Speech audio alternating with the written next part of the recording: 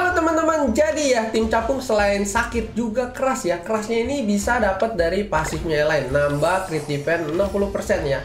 Tapi yang orang suka blunder adalah dari komendemennya Gloxy nih guys. Banyak orang yang kadang lupa ya. Ini Gloxy ini nggak boleh kalian pakai dua skill ya. Skill apa pun juga, nggak cuma skill attack aja ya. Kalau kalian pakai dua skill debuff pun attacknya down ya guys ya Oke let's go yang pertama langsung kita lawan siapa Angel Nah ini pengecualian buat Angel guys Angel ini anti start down ya kalau karena dia punya pasif dari Mael. Oke ya, tapi yang ten komen komen Gloxy itu berlaku buat musuh sama kita guys, nggak cuma musuh doang ya. Jadi kalau kalian pakai tim capung, satu hero satu kartu. Kalau musuhnya moga-moga blunder ya, pakai dua skill ya, yang kayak misalnya combo bantu kan butuh dua skill ya. Nah, oke musuhnya langsung power pet ya kena mental guys. Emang ya ini kalau crit kalau kalian lihat ya begitu kalian pakai king crit ini udah pasti destroy. Nah kalau sebagai tip kedua nih kalian kalau pakai king ya jangan kingnya itu pakai kartu di pertama guys. Pakai Gloxy dulu. Kita kan satu hero satu kartu ya jadi pilihannya cuma Gloxy guys. Kita tes nih di tuh CC kentang 200 oke bukan ya Nah, kalau dipeluk crit, nah kalian lihat Gelda nggak crit ya, karena Gelda emang hero kekinian ya.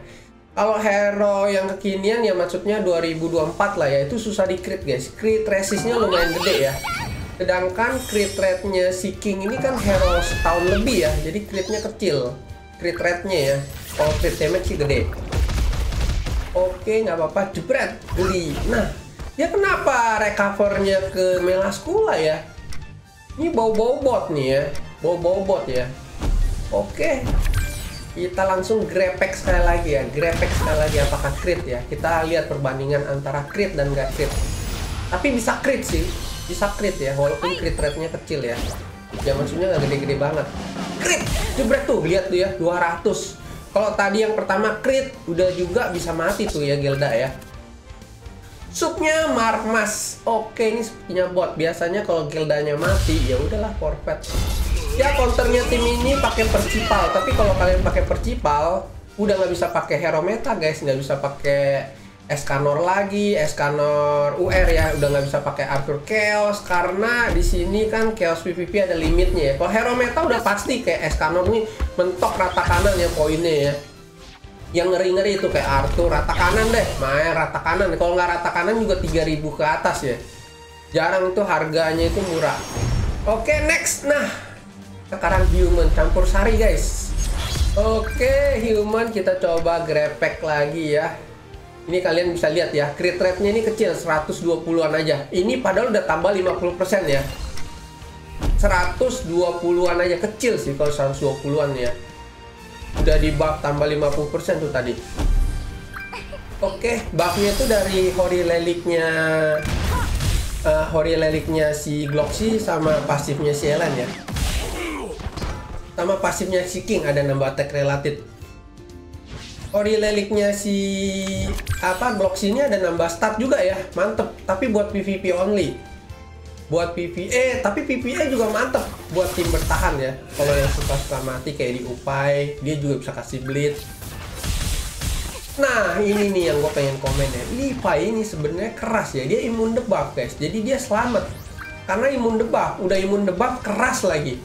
Tapi kelemahannya Levi dia itu nggak bisa ngetown ya. Tanker keras keras sendiri. Ya goblok aja gue mukul dia ya. Mending gue mukul temennya dulu siksa Nah, setelah lewat dua turn baru kita incer Levi. Uh, jadi sebenarnya kalau kalian punya Levi ya, gameplaynya dia mesti ulti 6 per 6 karena dia susah mati, ulti ras. Kuncinya Levi di situ. Itu kalau Sultan ya pengen gacha sampai 6 per 6. Ya kalau nggak 6 per 6, 1 per 6 agak kurang worth it karena dia juga hero PvP only sih. Ya, tapi poinnya kecil ya di sini ya buat PvP chaos jadi bisa gampang dipakai alternatif lah. Satu per enam, ye ultinya telat. Ultinya, ultinya juga satu per enam ya cukup lah. Nih kalian lihat nih, dia darahnya tadi 130-an ya, 140-an ya. Ini begitu kita kasih lock, damage-nya berapa? Rank 1, rank 1. 166. Jadi fix ya. Levi setelah 2 turn garing, garing. Dia cukup tungguin aja 2 turn. Kita udah win dua kali. Oke, lagi-lagi sama lagi. Waduh, kalau sama ya, kalah CC. Nah, ini counternya.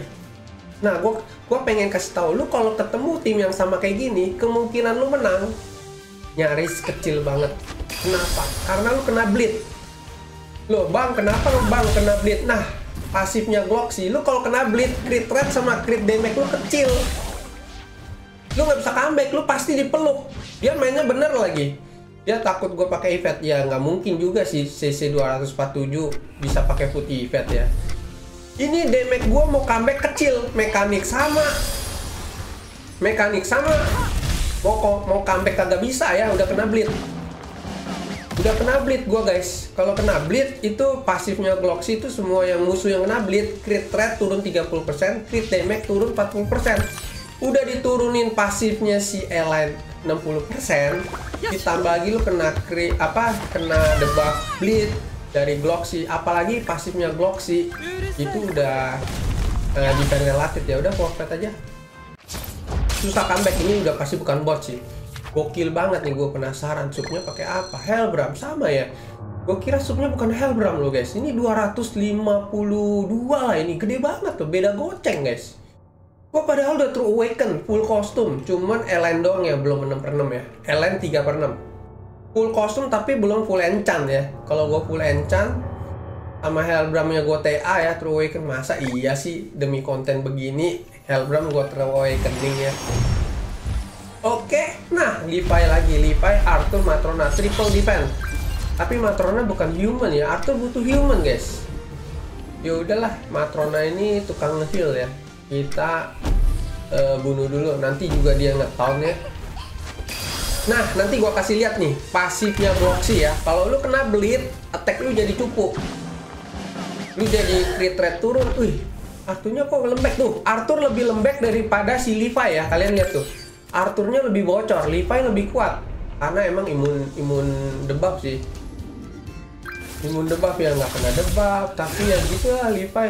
Damage-nya agak kurang, cuman bisa impact. Oke ini udah pasti bot sih. Arthur dipakai dulu. Eh kalau nggak ngebot juga tetap pakai kartu Arthur ya kan mesti tiga kartu. Levi ini udah pakai dua kartu. Nih kalian lihat ya tapi sakit loh ya. Udah impact gue punya Ellen nggak bisa recovery dari Tanmil nih kalian lihat ya pasifnya Gloxy guys. Pasifnya Gloxy ini selain nambah defense relatif nurunin 30% crit rate musuh sama 40% crit damage ya. Buat yang kena bleed aja ya. Tapi pasti kena bleed lah. Pasti kena bleed.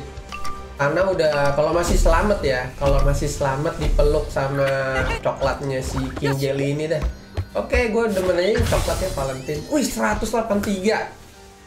Kasih kado. Ya, ini susah lah. Tuh, 27 ribu. Tuh, damage gue weak point ya. Dia nggak bisa kena. Dia lagi imun debuff, jadi weak point gue nggak guna. Ellen itu weak point ya. Oke, just mati Ellen gue. Oke, ih masih selamat ya, tapi mati pun nggak masalah sih. Dia kalau udah lewat receh, dia mau ulti telat.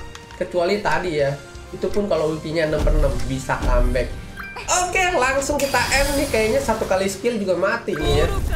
Tusuk bleed, jebret. Nah, eh ini bukan bleed ya, ini disable attack.